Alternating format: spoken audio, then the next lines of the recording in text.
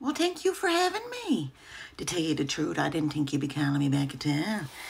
God, it's been like a month or something since I applied on this. It's a good thing I'm still interested in it, eh, boy?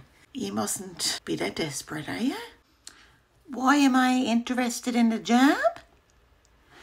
Well, I tell you now, there wasn't much to be posted to begin with, so I had to apply on something, see? And I'm stuck in the house with the husband. He got me a drove cracked. So I said, if I can get something now, a couple days at the week, that's all you're looking for, right? Yeah, well, if I can find something a couple days at a week, that'll be fine and dandy. And I noticed that you're not paying very much. So I said, you know what, a little bit of money is better than nothing. But I don't know how often you gives raises. Do you give raises like every couple of months or anything, or once a year? Depending on how I'm doing. Well, I think I'm going to be all right. I don't think you're going to have no problems with me at all, see. Now, I'm not dead up on the fashions and everything and, and the clothes that people wears. Like, I could barely fit in this jacket that I brought. But I said to the husband, you know what, I got to wear something nice to the interview. I can't just go in and look like a strail. So then he says, go into the closet now and see what you haven't worn in the last couple of years. So here I was in the closet this morning. Oh dear, this could barely fit on me. Look, right? Too much COVID weight going on and everything. I didn't have the patience to be going out and buying something.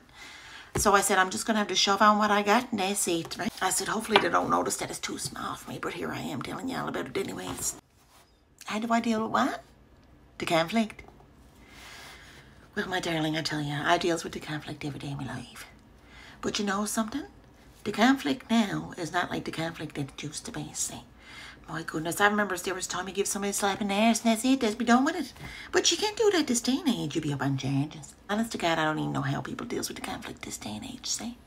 Sure, everybody's very sensitive about everything, can't say nothing, nobody. I'd say what you're better off doing is going in, doing your work, shutting up, and going home at, the end of the day. There you go. Oh, well, that's it. My goodness, sure, it's not too late. The husband then goes and says to me, You're going to have some hard time with any interviews. He said, Good luck you. Right? He says, It's been ages since you did an interview. And I said, Well, I'm gonna hopefully going to fool you now. So when do you think you're going to be calling? Oh, well, that's not too bad. At least it's not as long as when you called me for the interview.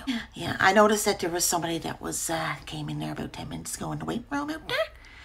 Yeah, they must be doing the interview too, are they? Oh, well, they don't look like they got much experience at all. They don't look very old. Well, it was nice meeting you all, and hopefully I'll be seeing you now down the road.